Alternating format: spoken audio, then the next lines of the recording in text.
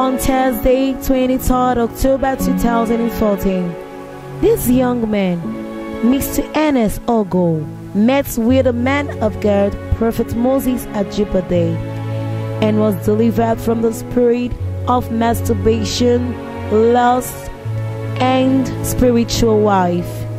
Let us watch how God uses servants to deliver him. What did he say? This kind of of love and communication. That spirit of love. Yeah, I must like I do all the time. I try to stop, but I can't stop it on my own. If you have tried to stop it, you cannot stop it. I believe Jesus will help you. I believe, Huh? I believe, You believe. yes, You believe. yes. Something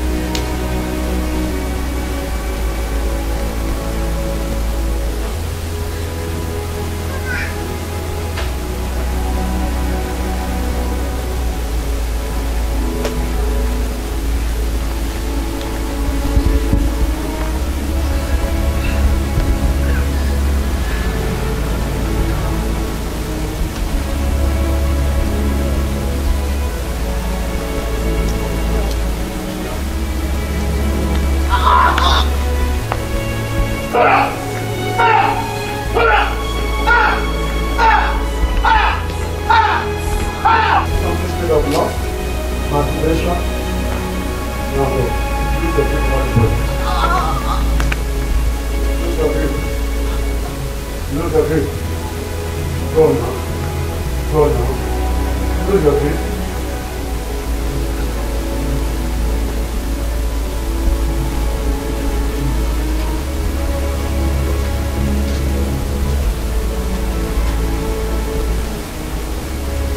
Thank you, Jesus. Thank you. Thank you, Jesus. Mr. Ernest Ogo has been delivered. Glory be to God. Mr. Ernest Ogo came back to City on a Hill Church of All Nations to testify how God delivered him from the spirit of lust, spiritual wife, and the spirit of masturbation. Let us watch. My name is uh, Ernest A. Nayogo. I live at Uduru Road. I want to thank God for saving me from delivering me from the spirit of loss, fornication, masturbation, and spiritual wife. Praise the Lord. It all happened last week because in every deliverance you must have a confirmation. Also, I also have ha- had the confirmation because on on Thursday, like this last week, I went to the man of God that please he should deliver me from this that he should pray for me so that God will deliver me. Okay. Eh, What did he say? I have this kind of spirit, spirit of love and communication. That spirit of love. Yeah, um, I must like I do my masturbate all the time. So I try to stop it, but I can't stop it on my own. Because I've tried on my own possible best. If I could stop it, stop all these habits, all these spirits that been disturbing me, tormenting me, but I could not with my own power. Because sometimes I will stay on my own that I don't want this thing to disturb me. But before I will see myself, I'll start doing the things that I don't want to do. Praise the Lord. It was that fateful day when I met the man of God I should pray for me after the prayer because that day I still went on fasting. I fasted that day throughout. My mom said I should not eat that we should continue the fasting till the next day. I agreed to her instruction. That night, the spiritual wife came also to sleep with me because whenever this thing happen i don't even normally have the courage just that when e come i will just go to it but that night i don just know the strength that came into me that day and i shouted the blood of jesus i shouted jesus before i could get myself it was as if i'm shouting it physically and this spiritual wife just left me since then till now i do not have that feeling again. Hallelujah. Hallelujah. This thing have been disturbing me though this masturbation of a thing started when i was in boarding school when my friend introduced me to it. But since then have tried to stop it. When i left my boarding school i've tried to stop it but i could not stop it.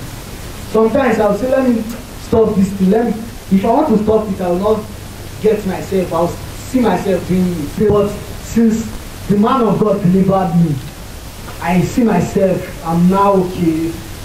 Those spirit of laws, those spirit of communication, those manifestations, since the day he delivered me and since the day I, I had that confirmation, my life has changed. Praise the Lord.